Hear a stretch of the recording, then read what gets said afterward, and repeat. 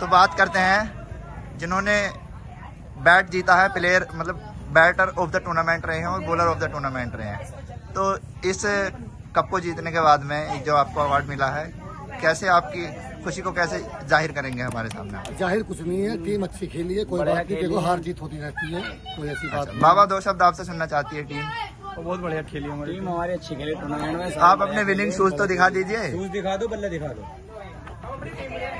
ये बाबा को ये मिले हैं जी बहुत बहुत कॉन्ग्रेचुलेशन को आपको। मिला और runner up team captain Mohammad Kaif please सामने आइए हमारी टीम जी कैफ साहब ट्रॉफी कहाँ है? अच्छी खेली टीम अच्छा खेले, हार्दिक कैफ